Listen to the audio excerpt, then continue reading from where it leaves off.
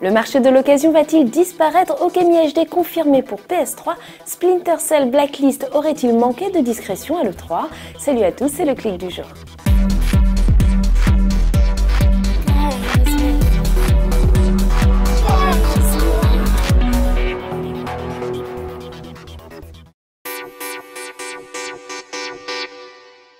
Le jeu d'occasion va-t-il mourir Cette question est plus que jamais d'actualité.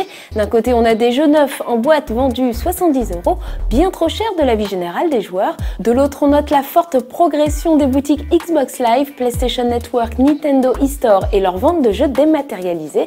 On y trouve des jeux AAA au même prix que les boîtes et bien sûr des jeux inédits, beaucoup moins chers que les jeux classiques. Aujourd'hui, ces ventes en téléchargement progressent, mais il est évidemment impossible de revendre un jeu téléchargé.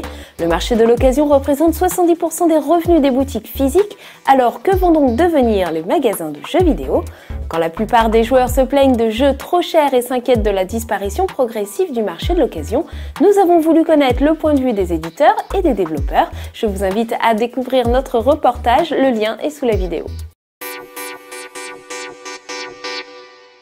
Après avoir connu un beau succès sur PS2 puis sur Wii, le magnifique Okami est de retour et cette fois-ci en HD. Cette aventure féerique où vous rencontrez dragons et araignées géantes semble avoir été dessinée au crayon et peint à la gouache. Okami revient dans une version téléchargeable sur PlayStation Network et elle sera compatible avec le PlayStation Move avec lequel vous pourrez influer sur la force des vents ou créer des nouveaux éléments dans le décor. Dans votre aventure, vous incarnerez la déesse Amaterasu qui se transforme en un magnifique loup blanc et elle devra décrocher 51 trophées pour arriver au bout de sa quête. Okami HD est prévu pour cet automne sur PS3. Les jeux d'infiltration ont bien souvent du mal à combiner leurs spécificités qui est la discrétion avec les trailers qui eux doivent en mettre plein la vue.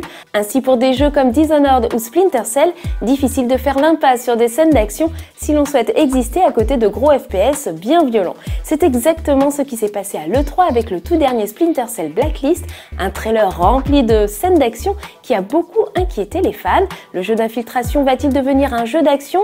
Patrick Redding, l'un des responsables de Ubisoft Toronto, est revenu sur ce choix délibéré de l'éditeur. Il souhaite ainsi s'adresser à tous les joueurs, y compris ceux qui n'ont jamais touché à un seul épisode de la série. Mais il confirme que si ce trailer montrait beaucoup de scènes d'action, il y aura bien de l'infiltration qui sera montrée un peu plus tard. Mais attention, car à vouloir séduire un si large public, ces novices pourront être déçus une fois devant un jeu qui laisse plus de place à la réflexion qu'à de l'action pure et dure. On attend donc Ubisoft au tournant.